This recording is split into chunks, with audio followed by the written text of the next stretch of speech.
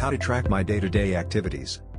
During the project plan implementation, one must be very clear about their day-to-day activities. Any uncertainty may result in delay of work and may affect the flow of the entire project.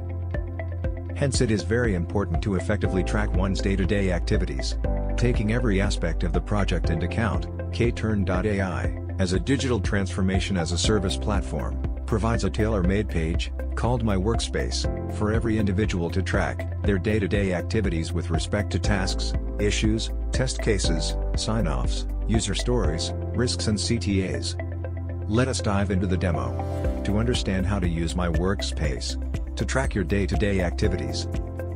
Firstly, log into KTern.AI. You will be redirected to the Project Launchpad page as shown in the screen.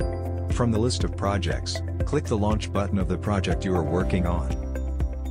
When the project gets launched, by default you will be redirected to My Workspace page. To find My Workspace in navigation bar, on the top left corner, click on the hamburger icon. You will find My Workspace there.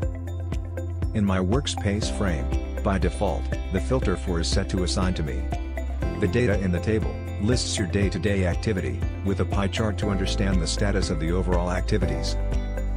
To update the status of any activity, click on the status against the preferred activity. A drop-down with appears. Select the desired status.